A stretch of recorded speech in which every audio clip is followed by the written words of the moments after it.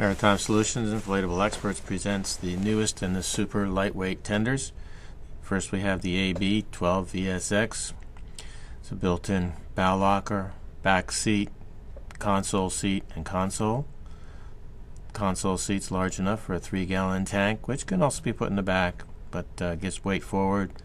Back seat has plenty of room for extra storage. Then the Walker Bay Super Tender.